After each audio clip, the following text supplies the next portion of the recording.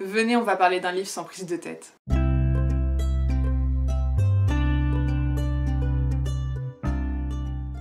Salut à tous Les vacances commencent de mon côté et je peux vous dire que elles ne sont pas de trop parce que je suis épuisée. Je vous prépare tellement de projets que mon cerveau fourmille d'idées et du coup je ne trouve pas le sommeil, donc je ne dors pas, donc je fais des insomnies, et on pourrait se dire, je pourrais mettre ces insomnies à profit en lisant, mais je n'arrive plus à lire parce que je suis en panne de lecture.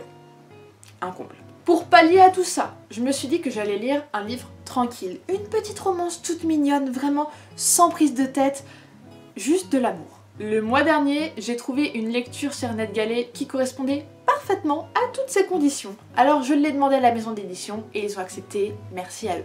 Aujourd'hui on va parler de Je déteste les comédies romantiques de Kiara Smith aux éditions Slalom et c'est traduit par Diane Gagneret. L'histoire c'est celle de Sirsha qui fuit toute relation amoureuse sérieuse. Elle est allergique aux clichés romantiques et elle est allergique également à l'engagement. Un peu perdue suite à pas mal d'événements qui se déroulent dans sa vie, eh bien elle ne sait même plus si elle a envie de faire des études.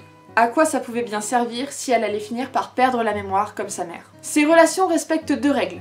Rien de personnel, pas de sentiments. Néanmoins, lorsque la jolie Ruby vient passer ses vacances dans la même ville que Sirsha, eh bien tout bascule. L'adolescente lui propose des rendez-vous inspirés de comédies romantiques et Sirsha accepte. Dans la tête de notre héroïne, tout est limpide. Ce n'est qu'une petite amourette de vacances, ça n'ira pas plus loin. Évidemment, rien ne va se dérouler comme prévu. On va parler de la couverture et j'avoue que j'ai une préférence pour la couverture d'origine du livre parce que celle-ci je la trouve trop irréaliste, trop idyllique pour faire vrai. Ici on nous présente Saoirse et Ruby qui s'enlacent au milieu d'une plage, alors que sur la couverture d'origine, on peut voir deux jeunes filles au milieu d'un parc d'attractions. L'avantage de l'illustration française, c'est qu'on voit clairement que c'est une histoire d'amour saphique ce qui n'est pas le cas de la couverture américaine. J'ai l'impression que la France, a voulu jouer sur ce fameux cliché des comédies romantiques. Alors ça marche bien, hein. c'est très très cliché. Ça me rappelle presque les livres Harlequin. Je ne sais pas si vous connaissez ces livres.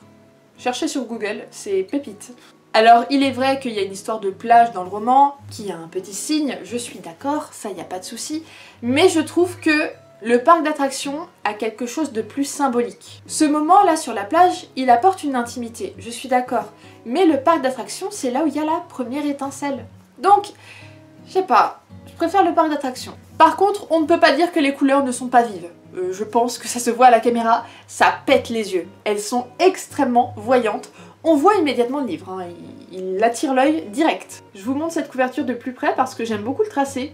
On voit que la personne bah, qui a réalisé l'illustration s'est vraiment concentrée sur les personnages. Je préfère la première couverture, mais celle-ci n'est pas mauvaise, je tiens à le dire. Elle est quand même très jolie, mais elle joue plus sur les clichés. Elle raconte tout simplement bah, une autre partie de l'histoire, c'est un parti pris hein, finalement. J'avais déjà entendu parler de ce livre via le booktube britannique et j'avais hâte qu'il soit traduit, mais je remarque qu'en France, ce livre ne fait pas autant de bruit et ça m'énerve. En vérité, ne nous mentons pas, quand c'est des romans saphiques, en France, ça a du mal à prendre. Du coup, je me suis donné comme mission de vous faire une propagande de ce livre, qui est très très bien, et c'est d'ailleurs un coup de cœur. C'est littéralement une lecture qui m'a fait repartir du bon pied. L'écriture, elle est légère, elle est simple, il y a une touche d'humour qui ne laisse personne indifférent. J'avoue que j'ai envoyé même certains passages à des copines, tellement je rigolais, et même elles, elles m'ont dit mais qu'est-ce que c'est que ce livre? Je fais partie de ces personnes qui adorent lire des histoires où il y a beaucoup de second degré, donc là j'ai été comblée. Je ne sais pas si ça va vous étonner, mais comme Ruby, j'ai une liste de mes comédies romantiques préférées. Elle et moi partageons cette passion commune des histoires bien clichés qui nous laissent des papillons dans le ventre et qui nous font un petit peu rêver. Souvent ce genre de films vieillissent tellement mal que finalement c'en est plus drôle qu'autre chose. Oui, je suis la personne qui en période de Noël vous demandera de mettre Love Actually parce qu'elle adore Hugh Grant et Colin Firth. Je suis aussi le genre de personne qui est capable de vous dire en plein milieu de la journée Tiens, si on regardait Coup de foudre à Notting Hill ou un Bridget Jones. Moi Aimer Hugh Grant Non, pas du tout. Notre génération, elle estime souvent que la romance est morte, que le romantisme est décédé. Et j'avoue que c'est peut-être un peu vrai, mais je rêve toujours de la personne qui me fera ce genre de rendez-vous un petit peu cliché. J'ai l'impression que dans ce roman, on désacralise justement quelque peu la romance pour lui donner un côté plus léger, plus drôle, moins sérieux. Et on apporte des références filmiques incroyables dont Hugh Grant est roi. Et là, je suis ravie. Les rencarts que propose Ruby sont certes inspirés de comédies romantiques, mais sont adaptés à notre époque. Donc il y a aussi cette touche de modernité. Je vous dis pas ce qu'il y a, mais j'avoue qu'il y a une scène que j'attendais avec impatience et je me suis dit si elle n'est pas dans le livre, c'est que c'est loupé.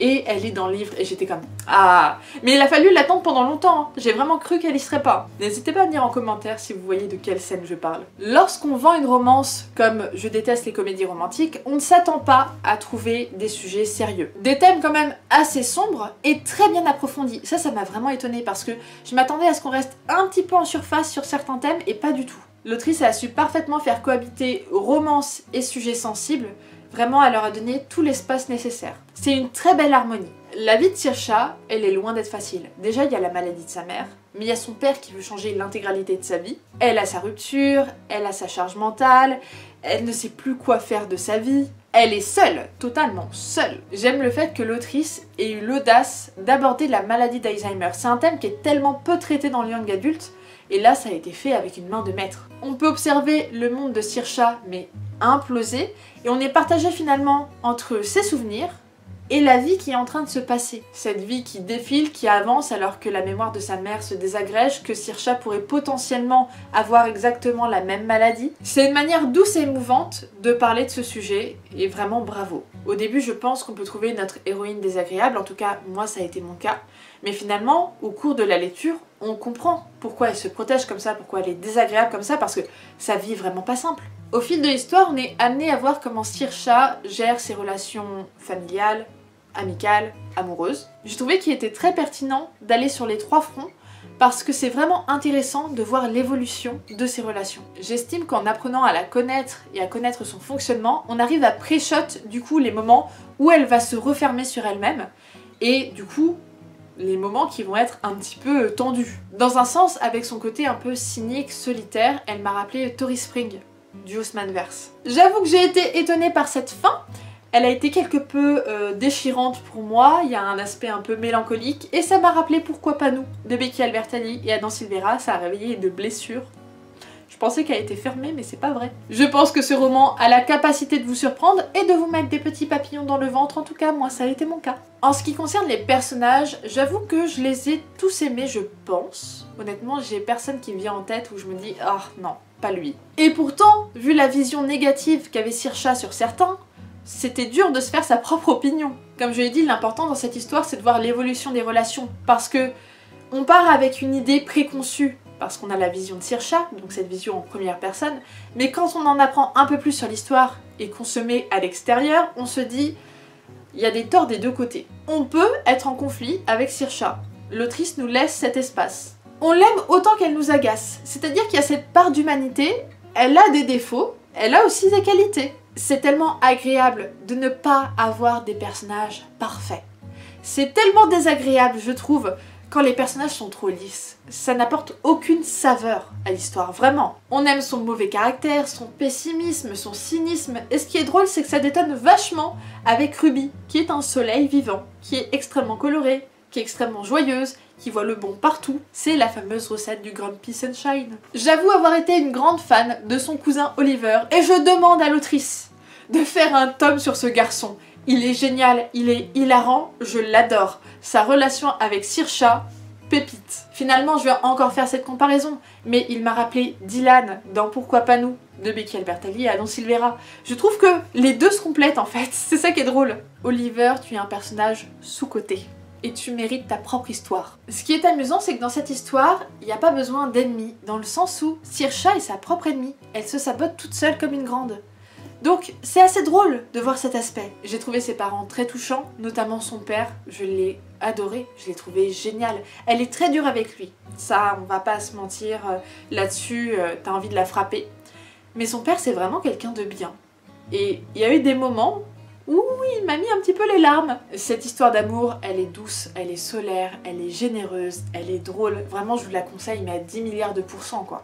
Une lecture idéale pour le printemps et l'été. Je n'en demandais pas plus pour sortir de ma panne de lecture, bon j'en suis pas encore totalement sortie, hein, je galère encore un peu, mais c'est vrai que une lecture toute douce, sans prise de tête, mignonne, bah ça fait du bien. Je pense que je vais commencer à varier mes lectures ce mois-ci, voilà.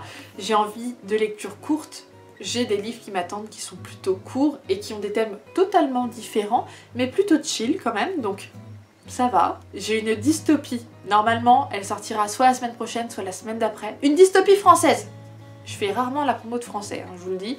Mais là, celle-là, elle est bien. En tout cas, merci d'avoir regardé cette vidéo. Si elle t'a plu, n'hésite pas à la liker, à la commenter, à la partager à tes amis, à t'abonner. Ça fait toujours plaisir. Et je te dis à bientôt dans une prochaine vidéo. Salut